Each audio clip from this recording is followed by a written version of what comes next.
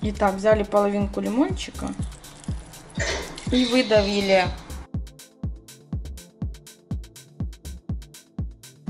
Всем привет! Сейчас я буду готовить окрошку. Окрошку по новому рецепту. Я еще так не готовила. Но ее кушала очень вкусно. Для этого мы варим 7 яиц, 2 средние картошки, и ждем, пока это все сварится.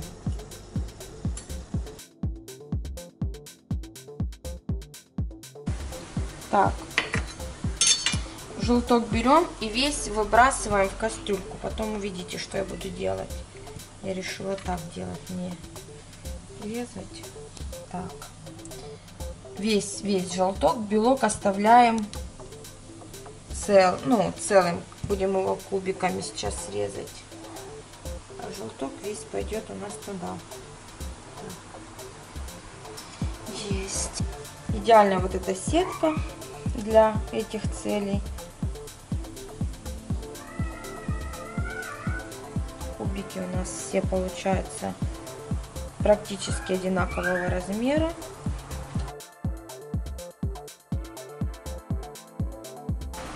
И также нам нужно выдавить кубиками картошку.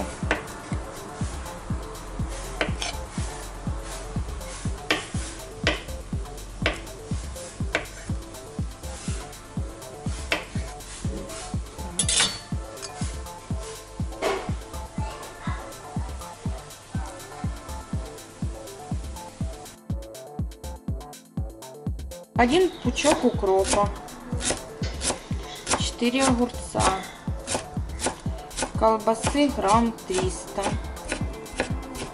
это на 2 литра жидкости. Лучок молодой режем. Можно зеленый.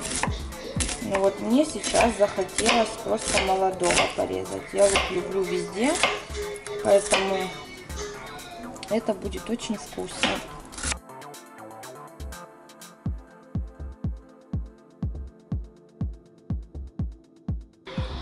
Итак, у нас все готово. Осталось разобраться с желтками. Мы добавляем сюда все на глаз по вкусу, как вам нравится. Горчицу медовую добавляем. Добавляем обязательно горчицу лимонную. Ее можно побольше.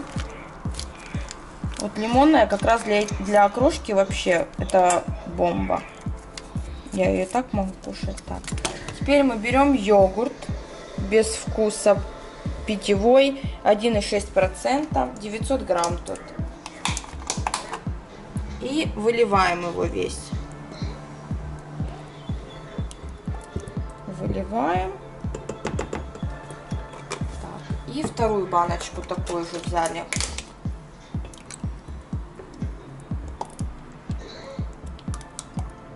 Вот попробуйте с йогуртом и больше сывороткой делать не будете.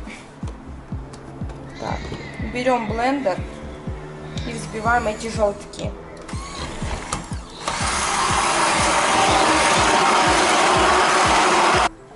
Итак, пришло время загружать все, что у нас есть. Первым сюда пойдет зелень, лук. А потом уже пойдет остальное. Если будет того много, мы сделаем оливье. Мне главное, чтобы был лук и была зелень. Так, есть. И теперь колбаска, картошечка, яичко.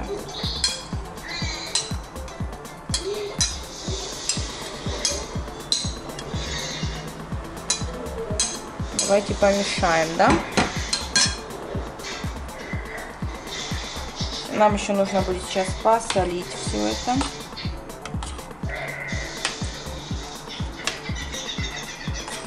Ой, уже красиво, уже пахнет. И еще, что очень удобно делать на йогурте, но опять-таки кто-то на, сыворотке, на сыворотке скажет также, это не воду нужно охлаждать со сметаной. Всегда я готовила вода сметана. А тут уже готовые холодные емкости, которые были в холодильнике. Ну, в общем, я вам скажу, хватит. всего. Сейчас еще будет кому-то оливье. Посолили. Пробуем по вкусу. Может быть сюда еще нужно лимонного сока. Я добавлю. Итак, взяли половинку лимончика и выдавили. Опять-таки пробуйте по вкусу сколько. Половинки всего, наверное, будет много.